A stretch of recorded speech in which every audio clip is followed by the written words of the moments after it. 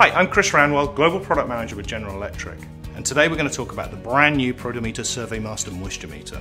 This is a dual function moisture meter with both pin type measurement and non-invasive RF measurement. The pins here on the top are protected by this cap with a leash.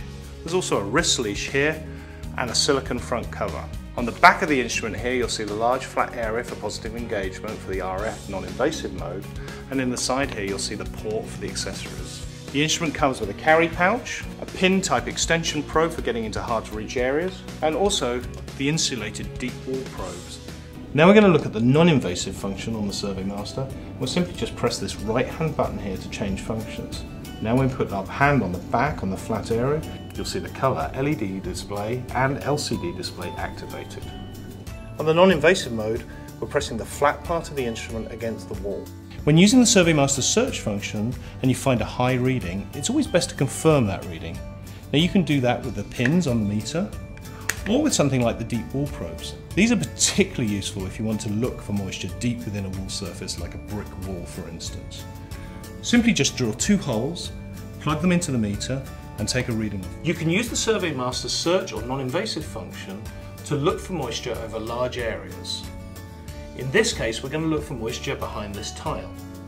Now it's important to place the meter on top of the surface rather than slide it. This meter reading about 90 and a green indicator meaning that the floor is dry.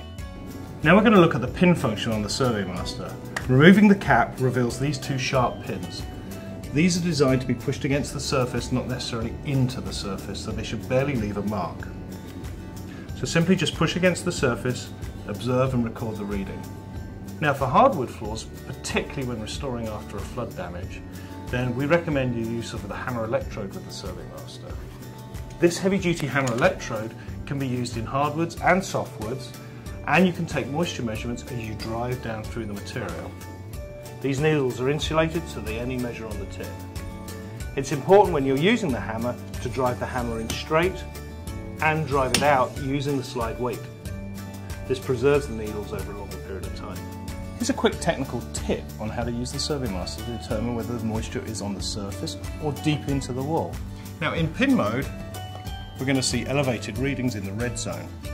When I change to non-invasive mode, because of Protimeter's technology, we'll only measure the surface moisture in respect to the rest of the dryness of the material. So a thin film on the surface will only just show up on the meter. So using a combination of both pins and non-invasive, we can determine whether the moisture is surface or deep throughout the wall. High readings on the pins, low readings on the non-invasive would indicate that. Here's a technical tip on how to use the patent pending reference mode on the SurveyMaster. We can take our dry standard, hold the right hand button, and now everything else in respect of this dry standard will be measured. So at the top here we have the new reading and below is how many percent above the new reading we are. Thank you for watching this brief introduction to the brand new Protimeter SurveyMaster from GE. For more information, please visit our website surveymastermeter.com.